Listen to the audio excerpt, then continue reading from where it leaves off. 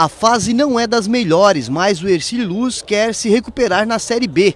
Depois da derrota para o Camboriú no final de semana, o desafio agora é contra o Guarani, novamente fora de casa. O zagueiro André Luiz é um dos desfalques, suspenso pelo terceiro cartão amarelo. Jefferson Baiano será poupado e o atacante Marcelo Kilder ocupa sua vaga.